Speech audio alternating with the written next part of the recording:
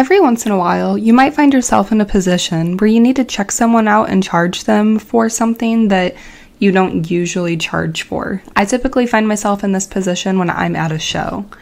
So, to get around having to add this one time thing to your item or service library, all you have to do is select custom.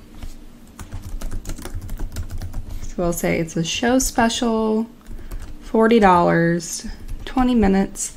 And then from there, you can add any charges or discounts just like any other item or service and add taxes to this custom charge.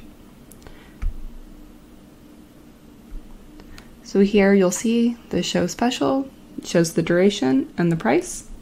And then from there, you can just click pay, invoice, or estimate.